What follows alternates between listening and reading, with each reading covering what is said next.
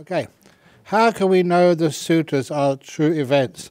And how can we interpret things like the ability to pass through walls, etc.? If Harry Potter could do that, why can't Buddhists?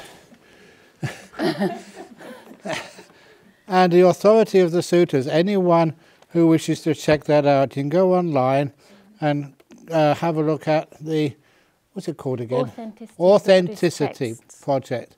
I think it's uh, Ajahn Brahmali and Ajahn Sujato and a few others did a book online to try and gather all the evidence together on why these sutras are accurate. One of the reasons is that each one of these sutras are repeated so many times, just like my stories and jokes. and because of that, it means that they support the authenticity of each other. So it's actually quite incredible. People try to find out mistakes in them, they're pretty, pretty um, uh, supporting. So I have no doubt they're authentic. The best way to prove they're authentic is to try them and see if uh, eventually you can pass through walls. you might get a few uh, bumps on your head first of all, but eventually it works. I pass through a, hall, uh, through a, a wall every day. It's called going through the door. Oh, come on. I think do another one because that was quite quick. This is quick too. Okay. Is it easy to be a monk in your monastery? Absolutely. Once, once you are a monk, it's easy to stay as a monk. It's hard to get in, but once you're in, it's easy to stay. That's what being a monk is like, being full of ease. You know, and easy. Sometimes it's quite sort of what's ascetic, but it's simple. If you like that sort of lifestyle, it is full of ease. You can sit down and bliss out. You can just sleep not that much and still be rested. And you can be very healthy. And it's a lovely lifestyle. It's very full of ease.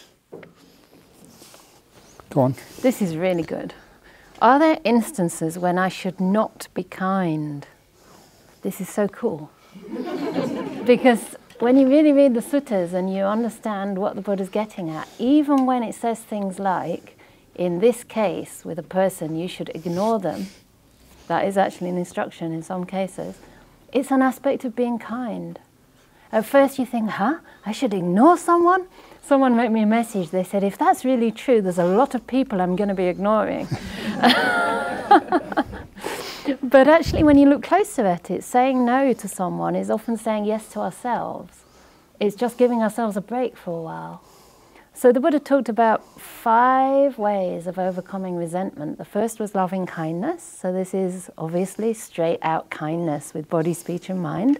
And the Buddha said we should have thoughts of loving kindness not only in public, so when you're talking to someone, but also in private. So we can also have kind thoughts to someone when they're far away. And then if that doesn't work, we can have compassion. If that doesn't work, what's the next one? Is it equanimity next? No, you're, you're answering the question. Oh. You just told me to be kind by saying no. I'm not asking you. anyway, huh? No, it's not actually. Anyway, equanimity is there.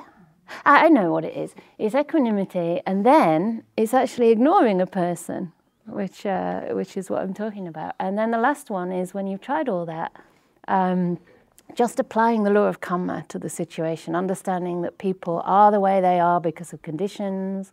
We are the way we are, whether we're able to be kind or not because of conditions. So it's a really beautiful teaching, but they're all aspects of kindness in one way or another. So the only time not to be kind, I guess, is uh, if you're not able to right now, and then you're kind to yourself and you forgive yourself for that. But the aim is always to, um, you know, do whatever's needed in the moment in order to later on be kind. And sometimes loving kindness means uh, having distance from a person if you know that relationship or that person is really on, really harmful for you. Yeah. Okay. Is that all right?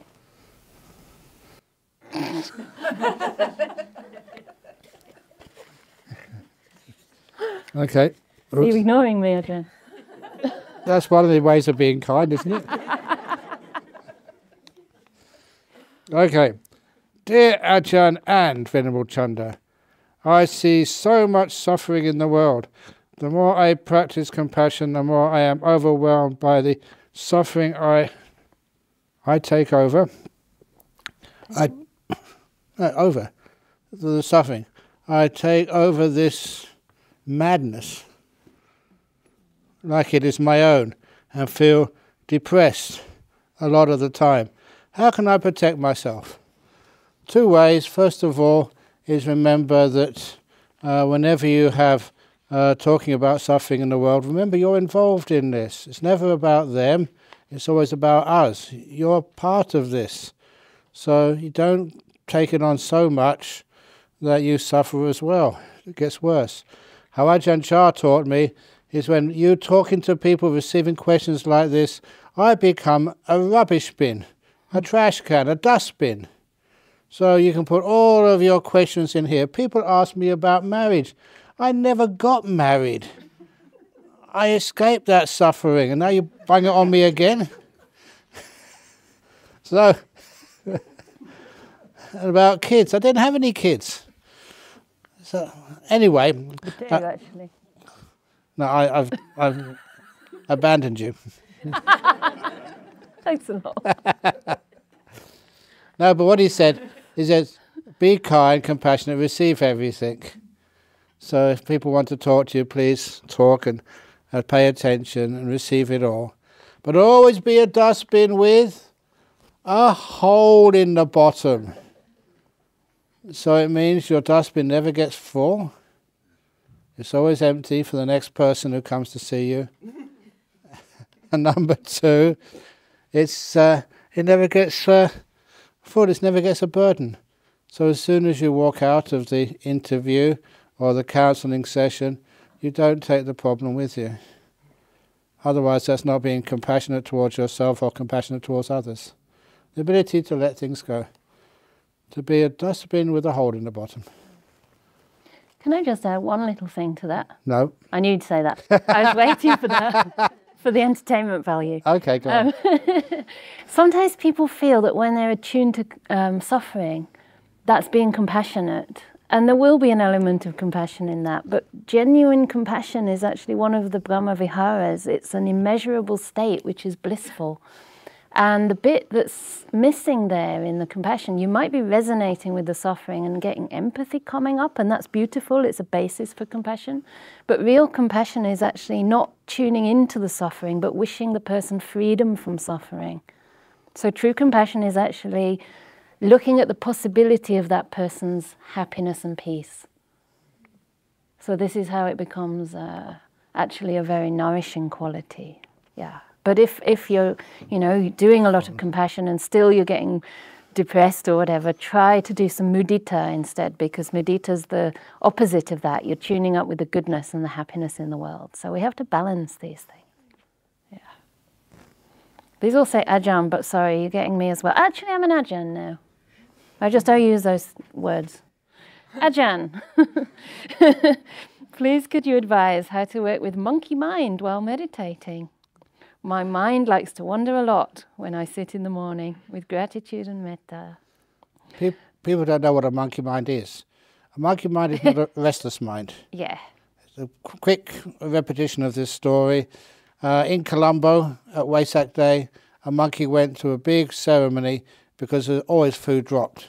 And so the monkey was there waiting for someone to drop a mango or a banana. That would be his lunch. But then he heard this priest, this monk, giving a sermon. And the sermon was about the monkey mind and how difficult that is, you know, when you're trying to meditate. And the monkey was really offended. you guys who talk about monkey mind, you haven't got a clue what a monkey mind is. You're a human being. I'm going to go and complain to the World Wildlife Fund. I'm going to go get a lawyer from the uh, Greenpeace and sue you guys. So he's very upset and angry. He swam back to the forest clearing where the other monkeys lived and he complained. He said, You should hear what these Buddhist monks are saying about us. A monkey mind, a monkey mind is bad. We've all got monkey minds. It's not bad. You can't discriminate and judge us like this. We've got to complain. And they all started jumping up and down. And then, as they were jumping up and down, the head monkey said, Stop. That is a monkey mind, jumping up and down, just getting crazy. The monk was right, you have got a monkey mind. Obviously. So the monk is, uh, yeah, we've got monkey minds. How do we get rid of them? They said, Well, I also heard from that monk that if you meditate, you can overcome the monkey mind. Let's meditate, let's meditate, they all said. said, Be quiet. How do we meditate? Well, first of all, you've got to have a nice posture. So get a nice cushion. They didn't have cushions like you have them here. They had to go to the jungle, get some grass, make it into a nice zafu, nice and big, and sit there. And what do we do now? You sit there on your bottom, and then you put your right leg over your left leg, the right paw over your left paw, back straight, uh, put your uh, chin in, and start watching your breath. And that was the first time in the history of the world that monk that monkeys meditated. Only for about a minute. Then one of the monkeys put their hand up and said, Excuse me, excuse me, don't you remember we were supposed to go to the, the banana plantation to raid the, the plantation with all the people at the temple? That'd be our lunch today. Yeah, I was thinking of that as well. Let's go and raid the plantation now, get it out of the way so we don't have to think about it anymore. Good idea. So they all got off their seats, swam to the banana plantation. They stole as many bananas as you think. They didn't eat them yet, it wasn't lunchtime just to get that out of the way so they didn't need to think about it and plan it. And they all returned to their little cushions, uh, sat down, right leg over the left leg, right paw over the left paw, thumb slightly touching, chin tucked in, back straight, started watching their breath again, breathing in, breathing out. Excuse me, said another monkey. I've been thinking. So I've been thinking that before we eat those bananas, we'll have to peel them first. Let's all peel them. Won't eat them yet, just peel them. So get that out of the way so I don't need to think about it. So they all got off their cushions, peeled all the bananas, didn't eat any. And then they sat on the, the cushions and started meditating again. Breathing in, breathing out. Excuse me, said another monkey. You know, it's true. Before you eat those bananas, are they already peeled, they're already there. Before you eat them, you have to put them in your mouth first. So just put them in their mouth, won't eat them yet. so they all got up and got a banana each. Some monkeys got two, some got three. You know what monkeys are like. just like us human beings. And then with a couple of bananas in their mouth, they sat down in their seats, right leg over the left leg, right paw over the left paw, back straight, closed their eyes, and as soon as they closed their eyes, they ate all those bananas. That's the monkey mind. Let's get this out of the way first, and then we'll be quiet. I like that story. Mm. It's not just restlessness. I do. You don't have to do it now. You do it later. But why do we have to do it now? That's called monkey mind. Good. I'll do a different one. Oh. Yeah. But really, the moral is be kind to it. Because they were being told the monkey mind was bad. So don't tell your mind it's bad, you're condemning it. Is it bad? It's just natural. I mean, one of the things some, you notice some, when you meditate. For some agents. Yeah. no, sorry. It's old karma, basically. Yeah. It's just old karma. It's just what the mind does, you know, because you put all that stuff in, so it's going to start coming out as soon as you meditate. But the more you let it come out and the less you put in, eventually it calms down. So there's really nothing to worry about. Just understand it as, you know, the the karmic result of everything you've been doing. And that's actually one of the ways that it was easy for me to stop kind of watching movies and even listening to Led Zeppelin and all the music that I love because as soon as I meditated, it all came back. And I realized I was putting this massive obstacle between me and peace. So, yeah, be careful what you put in there next time. Uh, okay, that's similar. I'm going to see there's a slightly different one. Is the hindrance of aversion the same as resistance and how to deal with it? Shall I go for it or do you want to do it? You do it first. You do it first and I'll do it afterwards. Are you resisting doing it? Absolutely. okay. So resistance, I think, is a subtle kind of aversion. I mean, aversion is basically in meditation that kind of movement of the mind that is repelled from the meditation object. It's any kind of movement that doesn't want. So you don't like something, you pull away from it rather. Whereas the greed is like you're drawn into it, you're kind of grasping after something. So yeah, I think often it does manifest as resistance, and I've noticed this in myself when I'm meditating sometimes, and some kind of experience is quite unpleasant. And part of my mind feels like, oh, I'm just being with it, you know, let's just be with it and relax with it. And you try to have the right attitude, but then sometimes you can just notice this subtle kind of tension, which is just keeping slightly away from it. There's this resistance there, there's a kind of hardness of the mind. And at that time, if you can just notice that you're resisting the experience and soften the mind a little bit and just like relax and allow it to be, give it compassion. Notice, you know, that there's this space between the mind and the object, and instead of resistance, which keeps you away, you just put loving kindness and compassion, and this brings the whole experience into your mind so you can melt into it rather than stay away. So, yeah, it is a kind of resistance and it keeps you one step from reality in that way. I don't know. What do you think? Yes, good. Also, add though, it includes fear. Mm. And when you get into the deeper meditation, that's such a common obstacle that you're fearing of the unknown, you're fearing of letting go of something. You resist meditating, or you resist um, doing without food in the evening, or resist not speaking. And after a while, when you practice uh, silence, it's much more beautiful. And you know, renouncing is much more beautiful. And not having any questions is much more beautiful. but later on, you get these beautiful lights in the mind, the deep meditations. And it's amazing how many people resist those. They think, number one, they're not ready for it or they don't deserve it, and they have a fear of it because it's very powerful, and much of what you think you own or are disappears. Your sense of self disappears. Your sense of control disappears. It's so much more be- beautiful. Don't resist that fear. Or resist those states of mind which you're afraid of.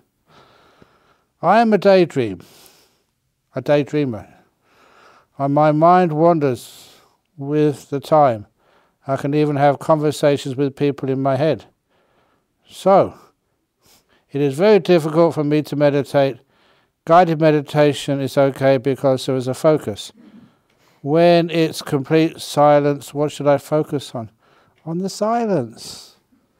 If that's what's there, you know, please focus on the silence, focus on the peace after a while, silence is absolutely beautiful. So many times in my life, look, even once, uh, when I was uh, staying at Chithurst Monastery down in Sussex, and it was the middle of the winter, because I was a visitor, I had no duties, and so I decided to go out in the early morning. It was a very heavy snow the night before, minus 26 degrees and the, so all the roads were blocked. There was no aircraft in the sky, no birds were flying, no no people were up. It's only mad monks were out at that time of the morning in the cold snow.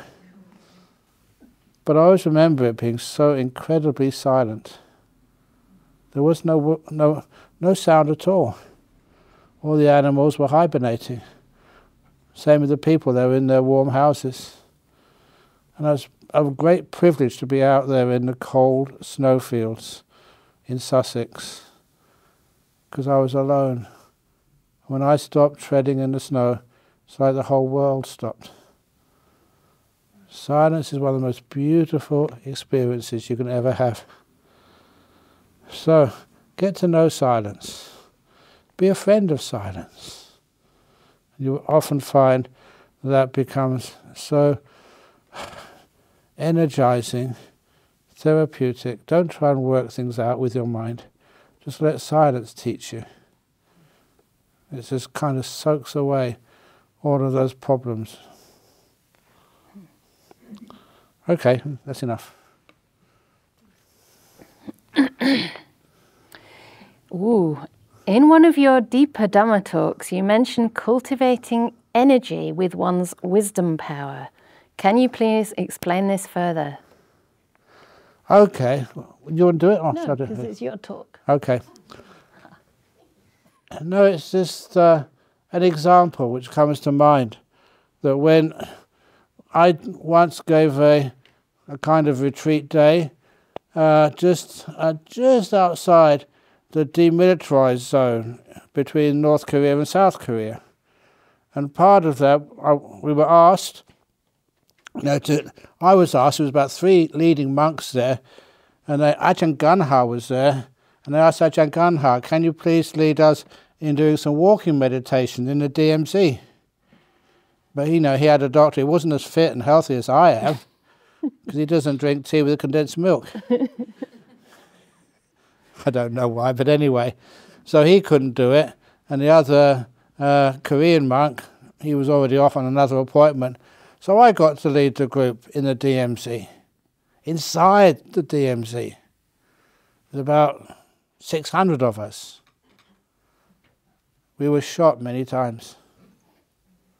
I'm a monk, I don't lie. I was shot many times with cameras and videos. That's called shooting, isn't it? okay. But then, you know, as you know, I don't get much exercise in my life, do I? This gets lots of exercise, the mouth. but, you know, it was it was about a four hour walk. So anyway, I was walking and I was getting tired. You know, really tired, exhausted. So you know what I did? It's something which you kind of learn as a monk. You'd be rebellious. Because I was tired, I decided to walk faster, not slower. And when you walk faster, it's like you get another boost of energy. You have energy inside of you, but you just don't use it.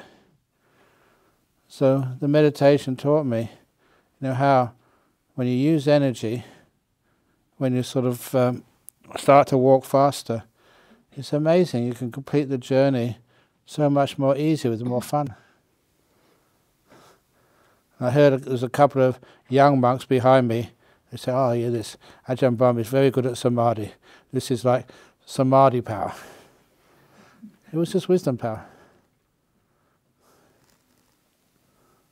All right, Yeah, I'm okay. cool. Okay, that's the same question actually. So we'll carry on. Aha, that's another the same question. Right, I'm going to do this one. Okay, no matter what it. it is. Interesting. Uh, do you think it's possible for a monk or a nun practicing at the time of the Buddha to still be around today and to be living a lay life? If it is, how can it be explained? How long can it take, even with good conditions? So, if you've read some of the Vinaya stories in the uh, Pali Canon, you will know that in the time of the Buddha, there were these groups of six naughty monks. And wasn't there a group of six nuns as well who got up to all kinds of trouble? Yes. Um, 17 even though the Buddha was around. Sorry? No, sorry.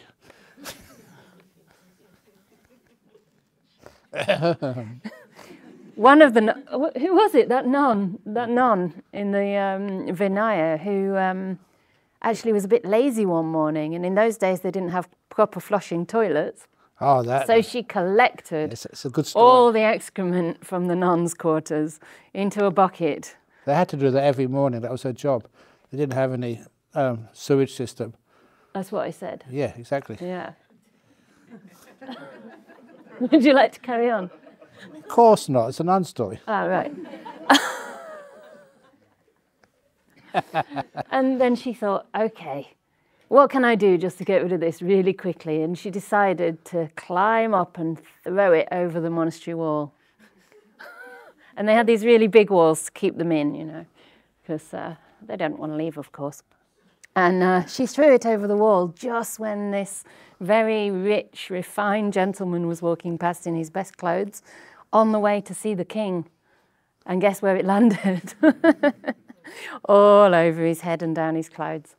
So he was very upset and, and distraught and said, These nuns, these are terrible. I'm going to complain and I'm going to get them, like, I don't know, tell the king and maybe get them even executed, who knows.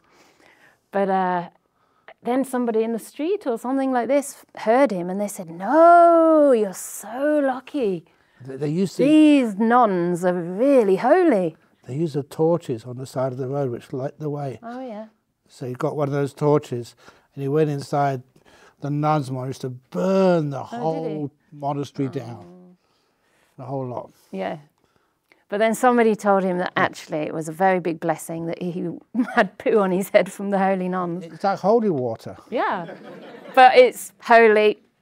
Right. Shit, yes. It's the best you can possibly get from these amazing nuns. You gave holy water to a snake once. Oh, yeah. Anyway, Yeah, it was early in the morning. It was dark. I went out to urinate, and I thought I was peeing on a stick, and the stick started to move. That's for ladies. You don't understand just how sensitive that part of your body is, and it was right in biting distance. It mm. never bit me at all. It felt wow, how lucky I am, being blessed from the holy water directly from a monk. so these are the things that monks do even today, which is probably why they're still around. The, the snake loved it.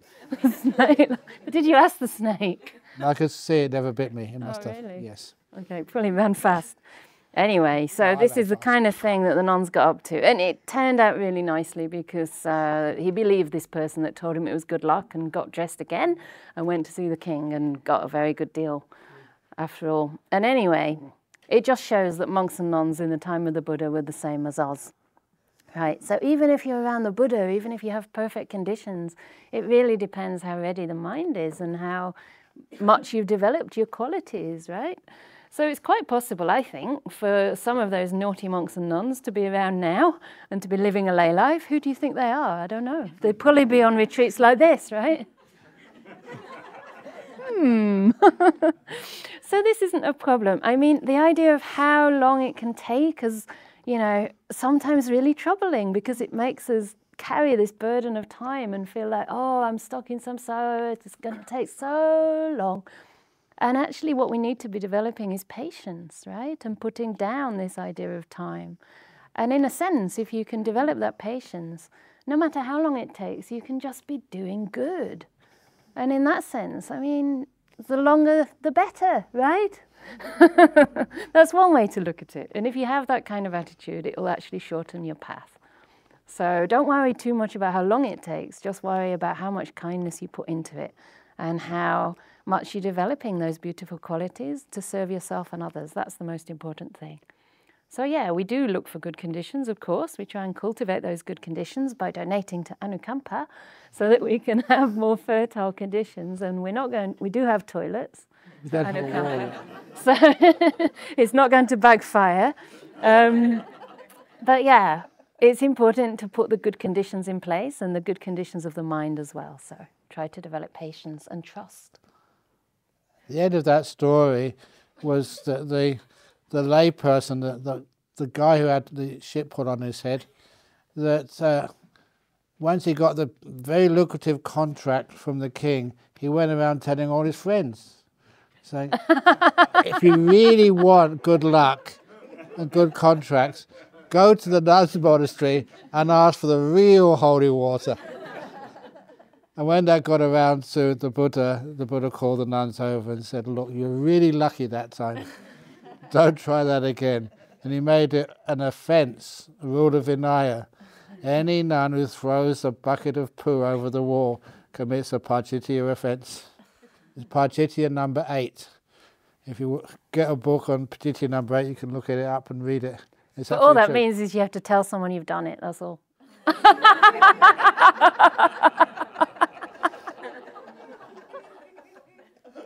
Okay, so that was an interesting question. See if I can get a nice one like that too. Here we go. Beware. Actually, we have a wall at the back of the monastery. Yeah, a there we nice high wall, and people come behind it all the time. So anyone who wants to visit and clean the place up, Ah. yeah, but you can come. Yeah, they, they need to be blessed. I have my visitors too.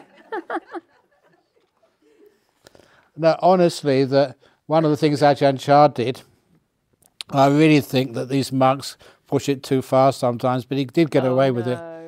Ajahn, we've only got 10 minutes. Okay, but this is worth it. Oh, no.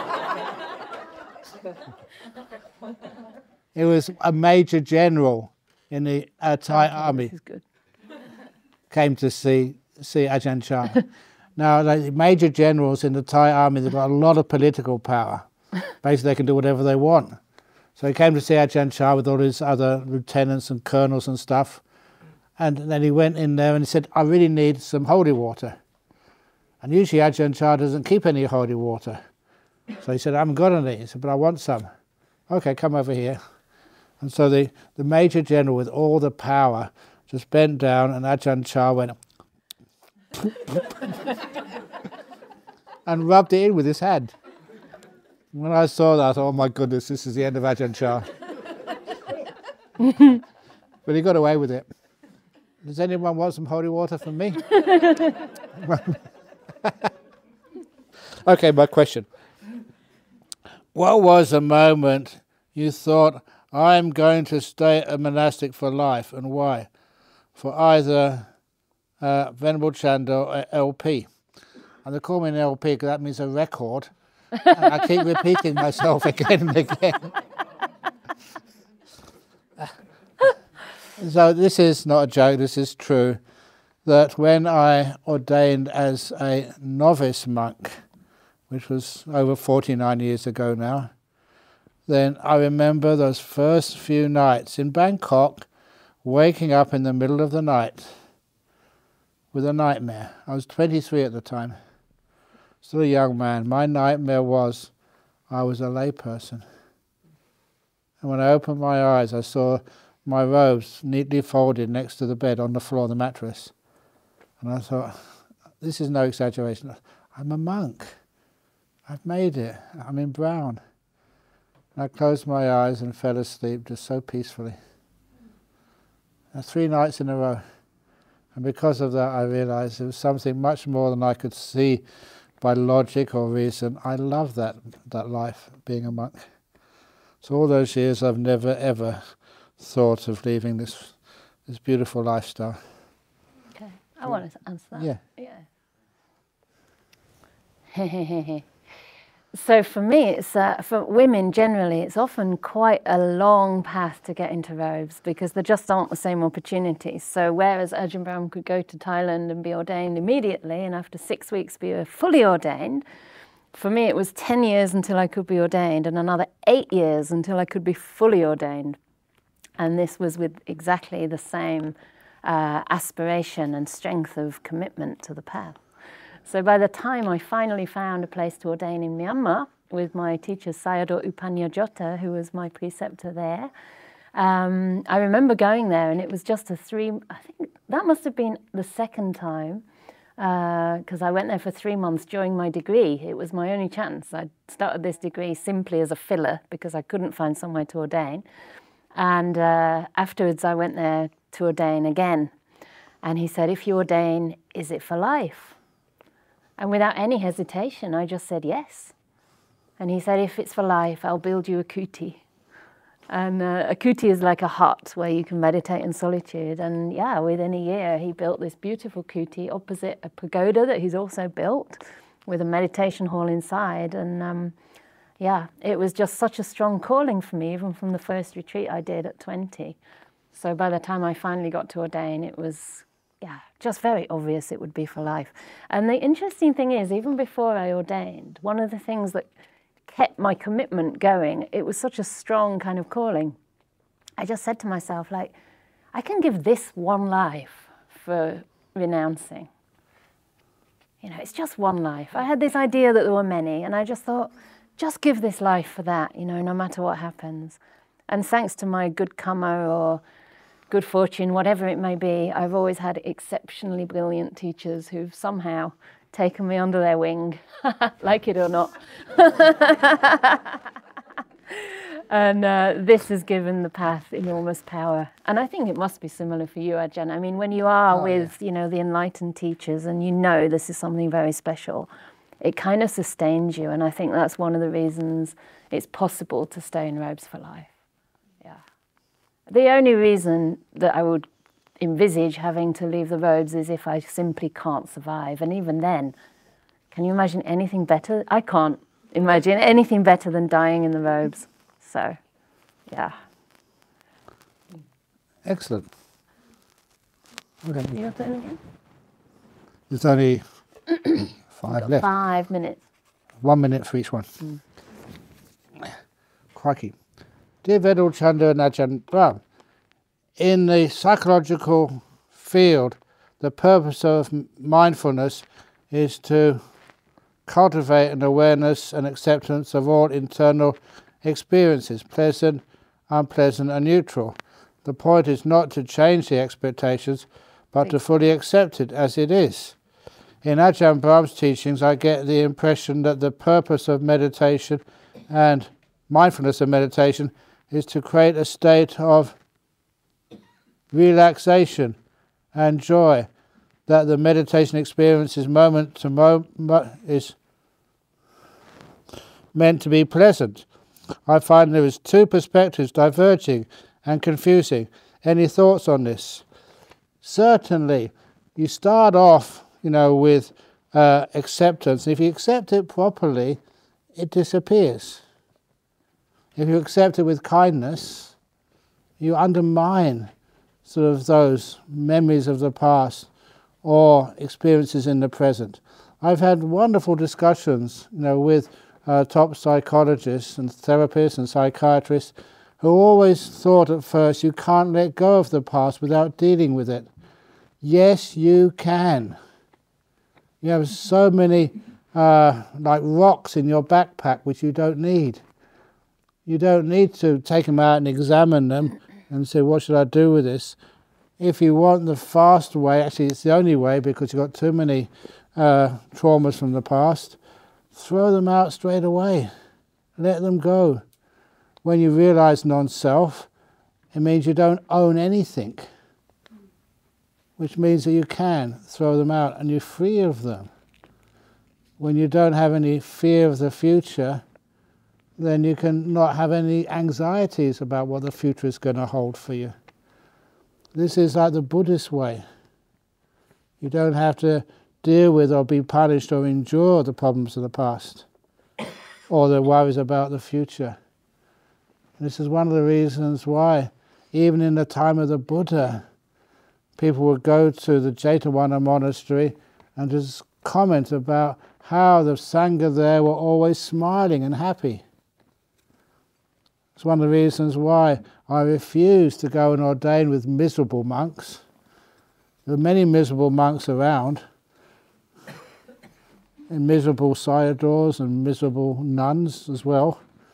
There's not many nuns. How can there be many miserable nuns? Not fully ordained bhikkhunis. Ah, But actually, when you went to, to see someone like an Ajahn Chah and Ajahn Tate, not all those monks were, were happy. When you saw a happy one, oh, you never wanted to leave them. It was wisdom. And you've known me for a long time. Am I a happy monk? oh yes. Am I miserable? Only when you don't get enough Connie's milk. That's true, I admit that. no. So, anyway, this holy life is meant to be happy. That's this great attraction. You get happier and happier and happier and oh, happier. you don't have to be miserable. Anyway, your turn. All right. This is for you. That's radical, yeah. Hmm. Is it okay to talk about your spiritual experiences to motivate someone, or should we only talk about it to our teachers? Yeah, I would say it's good to talk about your practice, maybe, to share the inspiration that you have, maybe to share the results of your practice through your kindness and through being an example to your friends and parents. Um, but be careful about talking about spiritual experiences as if they're kind of trophies. Also, because you might be mistaking what it is you've really experienced. You know, sometimes people take, say, a light in the mind to be enlightenment.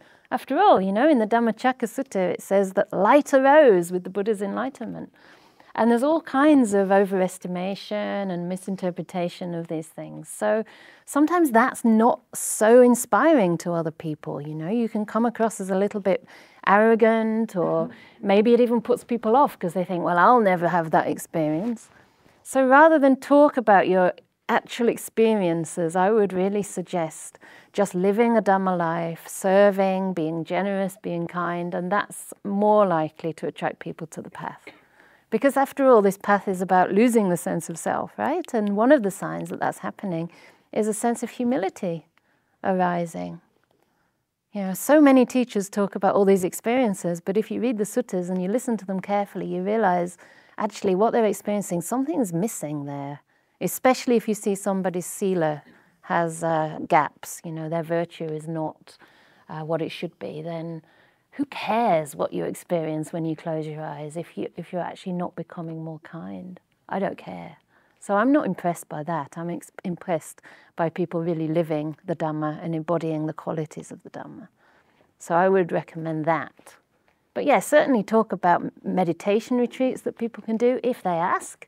But don't be one of these like really tyrannical kind of people who goes out like a proselytizer or missionary, because that's not what the Buddha recommended.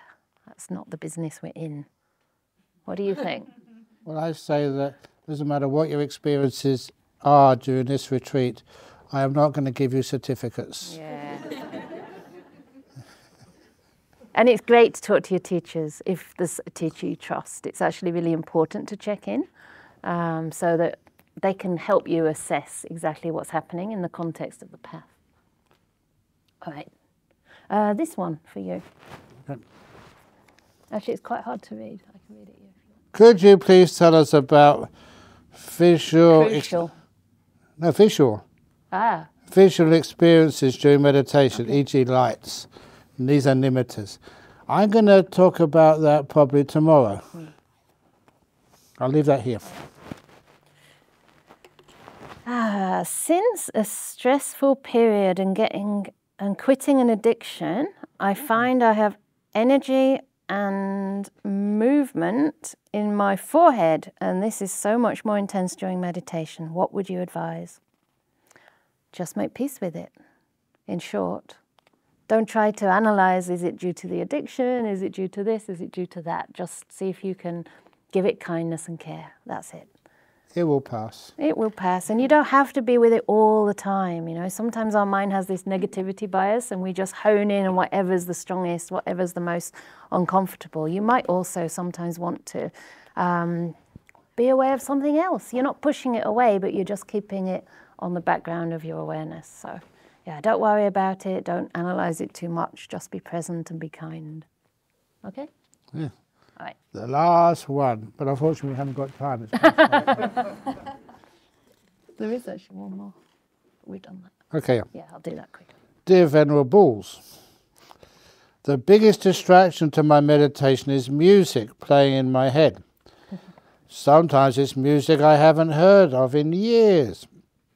I try to be, uh, I try to be something observer to it but a kind observer to it, and listen to less music. But it always uh, cups, cups back in. I don't know. Comes back in. Comes, yeah. Doesn't look like an M there. Do you have any advice for this? Many thanks and much metta. One of the reasons why all these distractions come in, they're not important. And I remember that sometimes when I used to be a school teacher, the first year, you'd come home from teaching in the school, and I'd turn the TV on, looked at anything. I didn't mind. I was just trying to escape from the tiredness of you know, working during the day. And I realized that people, meditation, do that. You have these, these uh, things which you just um, surf your old memories, surf just all the music you used to hear, just something to do so you're not paying attention to what is more important. So these things come in. If they come in, just let them come in. Open the door of your heart to music or distractions or anything which comes in. But make sure you keep the door open so the door is there to come in and to go out as well. If you don't pay it too much attention, especially don't get negative towards it, you don't try and get it out, it just disappears by itself. It's useless stuff. So just give it the time. It wants to come in, it comes in and it goes out. You don't have to worry too much about that. When you get something else which is more important than those old memories, the old filing cabinet of dreams and plans and, and uh, excitement, when you get rid of all of those, then sort of uh, it just disappears. All right. I'm going to do this one very quickly because it's similar. Okay. Um, and I'll just say a couple of words. Should I use any force or just be kind? so you know the answer, right? For example, if I shouldn't listen to music, but it would be kind for myself to do so. So try not to use any shoulds because should is something different from actually what's happening and the way your mind's working. Um, the way it worked for me was that after my first retreat, I was just so much more present in the moment and interested in what was going on in my body and mind that I, the desire to listen to music to distract myself just faded away. And I was much more interested in being on the Indian buses with the chickens and the goats and hearing all the local languages and just, you know, looking out of the window than putting Led Zeppelin in my ears. So you really don't have to condemn these things. You know, you're not a monastic, most probably right now. And even for me, monastic life came naturally. It was kind of, I wasn't interested in those things, so it didn't feel like I had to renounce them, certainly not through force. So when you know that there's a reason not to listen to these things. For example, the question Ajahn Brahm just got about how the music can go on and on in your mind, then naturally you'll put it down. So just use the wisdom and, yeah, just observe the effect of these things on your mind. And uh, you don't need to use force or condemn any experience. All right. Excellent. So now we have the last meditation of the day. You know you're allowed to clap in Buddhism.